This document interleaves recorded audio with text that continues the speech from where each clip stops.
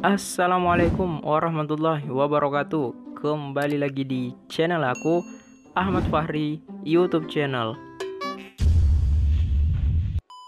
Oke teman-teman, jadi di video kali ini aku bakalan ngasih tahu nih ke teman-teman semua yaitu seputar game Free Fire Battleground tapi sebelum kita ke videonya, aku mau ngingetin sekali lagi nih guys, buat kalian baru nonton, kalian jangan lupa untuk mengklik tombol like-like yang ada di bawah dan juga tombol subrek-nya untuk mensupport channel ini agar lebih semangat dalam mengupload video-video terbaru lainnya tentang Free Fire.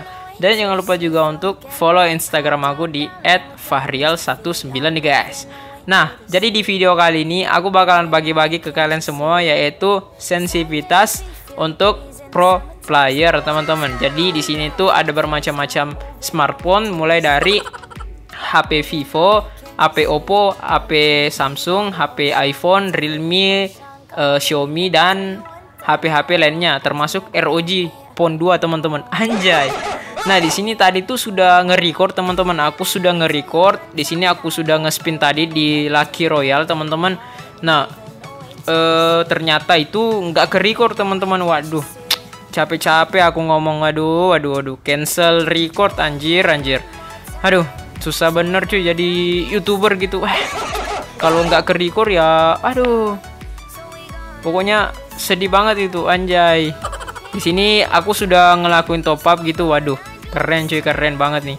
Tapi ini tuh nggak cocok sih sama bandel yang aku gunakan sama karakternya soalnya karakternya perempuan gitu waduh tapi kalau bandelnya menurut aku ya ada kecocokan gitu dikit ya anjay kita lihat di sini waduh Nah, sedangkan bandelnya ini tuh aku dapatkan dari event top up juga, teman-teman. Ini bersamaan teman-teman satu paket gitu. Waduh, satu paket macam paket dari toko shop. Eh. ah, itulah. Oke, jadi di sini aku bakalan ngasih tahu ke kalian semua yaitu cara sensi eh cara lagi sensitivitas auto headshot, teman-teman. Oke, tapi sebelum kita ke videonya, aku mau verifikasi tentang uh, akun yang aku bagi-bagi di video sebelumnya. Jadi akun itu udah nggak berlaku dibagikan soalnya belum cukup 500 like. Padahal waktunya itu sudah habis teman-teman. Kemarin tuh waktunya sudah tidak berlaku. Jadi buat teman-teman yang kata uh, yang sering DM aku di Instagram, bang bang akunnya bagiin aku. Uh, maaf banget ya guys, akunnya tuh nggak dapat dibagi soalnya uh, waktunya sudah tidak berlaku lagi teman-teman. Jadi tunggu aja giveaway giveaway selanjutnya gitu. Oke langsung saja kita ke pengaturan dasar. Ini sensitivitas.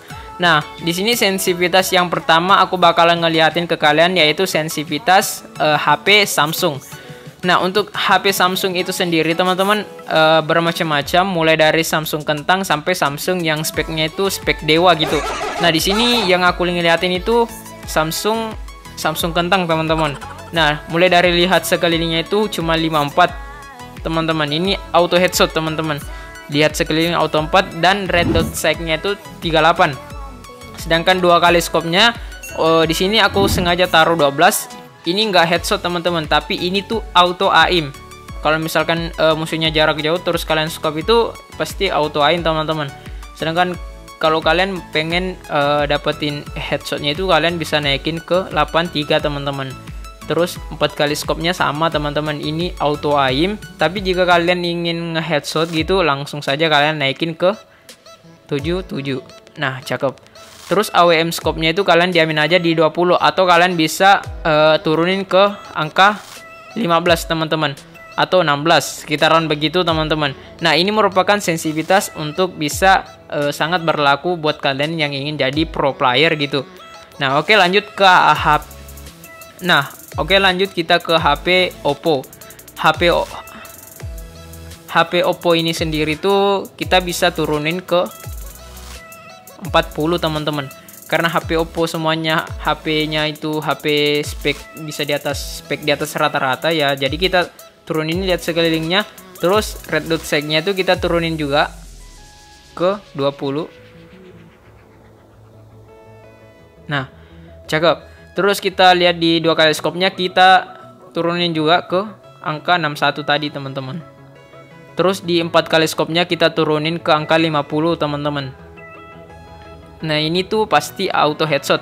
Terus AM skopnya kita naikin ke 20 teman-teman. Nah, cakep. Ini merupakan sensitivitas dari HP Oppo, teman-teman.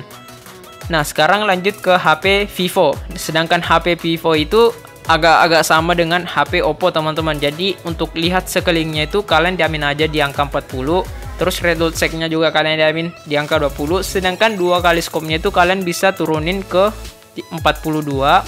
Nah, terus empat kali scope-nya itu kalian bisa turunin juga ke angka 32.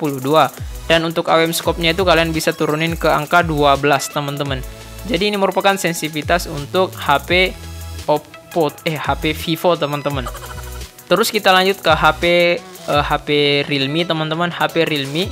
Jadi di sini ada HP Realme. Untuk HP Realme-nya itu lihat sekelilingnya itu kalian bisa kurangi sampai angka 15 teman-teman. Ini serius. Mengapa aku katakan lihat sekelilingnya 15? Karena kalau misalkan kita pakai HP Realme itu HP Realme itu kan sensitivitasnya itu cukup besar. Jadi kita kurangin aja ke 15 terus red dot check-nya nah di sini red dot check-nya tuh kita naikin ke angka 40 terus dua kali scope-nya kita naikin ke angka 68 dan 60 teman-teman. HP Redmi teman-teman Redmi atau Xiaomi. Nah untuk HP Xiaomi itu kalian bisa kasih 5 teman-teman untuk lihat sekelilingnya. Kalian bisa taruh 5 terus red dot check-nya kalian bisa uh, apa tetapin aja di angka 40 terus dua kali scope-nya sama 68 4 kali scope-nya itu kalian bisa kurangi sampai 5, 50 lah atau 49 terus aim scope-nya kalian diamin di angka 20 terus untuk HP ROG Phone 2 atau ya bisa dikatakan HP Sultan itu kalian bisa kurangi sampai 28 teman-teman. Dua kali scope-nya kalian bisa angka 11 dan 4 kali scope-nya angka 10 terus AWM-nya itu kalian kurangi sampai 5 teman-teman Nah, di sini selanjutnya aduh ini yang spam mimpet ini aduh. Tunggu dulu cuy, nanti kita mabarnya. Nanti kita pusher yang bareng naik master gitu anjay. Terus lanjut di sini HP iPhone. Kalau iPhone itu kalian bisa nolin. Lihat sekeliling itu kalian bisa nolin. Terus red dot say-nya itu kalian bisa naikin ke 38. Dua kali scope-nya itu kalian naikin 49 dan 38 untuk 4 kali scope dan AWM scope-nya itu kalian nolin teman-teman. Nah, ini merupakan sensitivitas untuk AP iPhone teman-teman. Nah, trik baru untuk headshot juga teman-teman itu sangat-sangat gampang. Kalian masuk ke kostum Hayudi. Terus kita tunggu. Nah, di sini kalian bisa lihat kostum Hayudi aku itu aku sengaja uh, apa? Ini tuh berada di paling pinggir gitu, paling pinggir lagi paling paling paling tengah teman-teman agak ke tengah-tengah gitu sini teman-temannya terus kalian ke bawahin sedikit. Nah ini gunanya apa kita kasih ke bawah? Karena pada saat kita ingin nge-headshot lawan nih teman-teman kan uh, apa?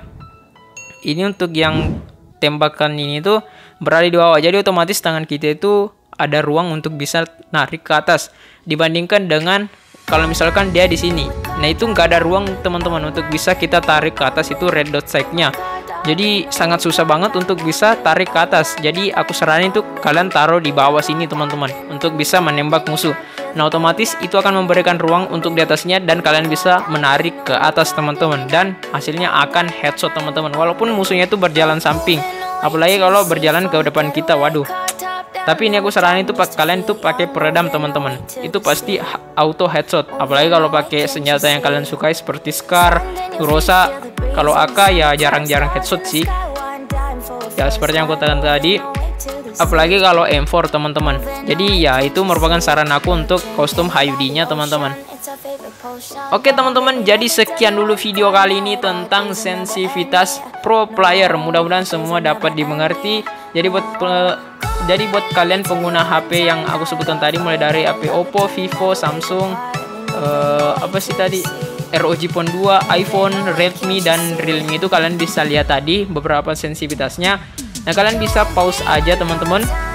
Dan untuk kostum Hayudi-nya sendiri, teman-teman ya kalian bisa pahami untuk kostum Hayudi itu kalian taruh di bagian-bagian bawah. Itu dapat memberikan ruang untuk bisa menarik ke atas karena banyak banget ruang di atas yang kosong dibandingkan dengan jika kalian taruh di sebelah sini teman-teman itu pasti sempit banget ruang untuk bisa narik ke atas. Jadi aku saranin kalian taruh di bawah teman-teman. Nah oke okay, teman-teman jadi segini dulu video kali ini. Jadi nantikan video-video selanjutnya Buat kalian baru nonton. Kalian jangan lupa untuk mengklik tombol like di bawah Dan juga tombol subscribe-nya Untuk mensupport channel ini Agar lebih semangat dalam mengupload video-video terbaru lainnya tentang Free Fire. Dan jangan lupa juga untuk follow Instagram aku di @fahrial19 Jadi ya buruan di follow teman-temannya Mudah-mudahan tahun ini bisa 10.000 followers gitu. Anjay Oke, sampai jumpa di video-video selanjutnya. Saya Ahmad Fahri. Bye-bye.